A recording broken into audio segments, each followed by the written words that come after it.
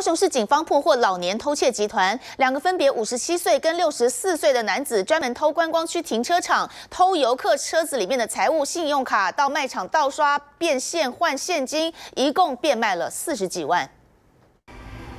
监视器画面中，两名男子走向卖场柜台，拖着背走路，看起来已经有点年纪，把信用卡交给店员结账。他们就是老人窃盗集团，信用卡也是偷来盗刷的。他们两人共同租车前往嘉义、台南、高雄、屏东这个地方，然后选择风景区以及附近有大卖场的停车场，寻找作案目标。一连好几个卖场都有两名窃贼的身影，迅速锁定购买目标，赶紧买单离开，避免盗刷被发现。警方调查，这两名老窃贼专挑南台湾观光区，像台南、高雄各景点，还有屏东大鹏湾的停车场，都是经常犯案的地点，偷取游客车内财物跟信用卡，再盗刷高单价单眼相机，销赃转卖。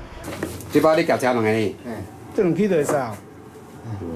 警方巡线逮捕，在窃贼家中搜出皮包、现金，还有一堆撬开汽车的窃盗工具。两名老窃贼合伙犯案，总共十四起，就盗刷超过四十几万。如果说有信用卡呢，他们会立即到这个大卖场来盗刷。有证据的十四件，他们就都有坦诚，总共犯罪所得金额大概四十余万左右。